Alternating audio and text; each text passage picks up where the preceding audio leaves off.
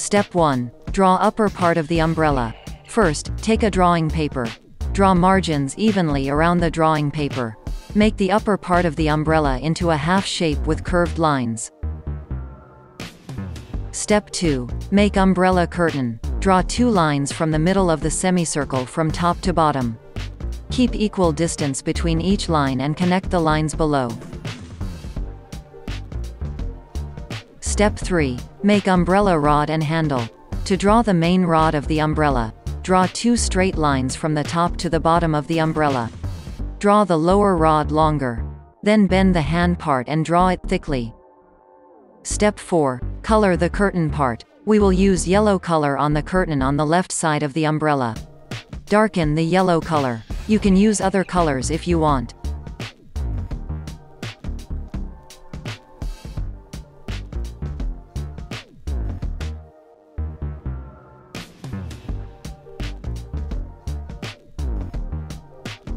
Step 5. Complete coloring curtain. We will give the blue color on the curtain in the middle of the umbrella, not too dark.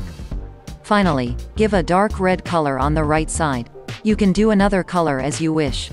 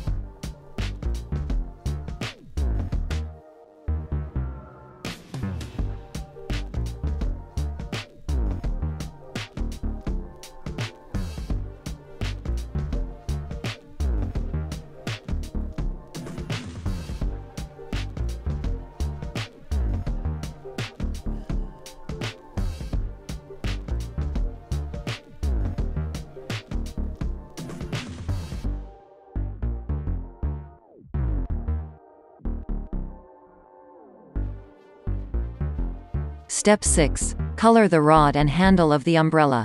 Color the umbrella rod dark blue color. Then color the handle of the umbrella orange. Now drawing our umbrella is completed. Hopefully, you have made the picture step by step very easily.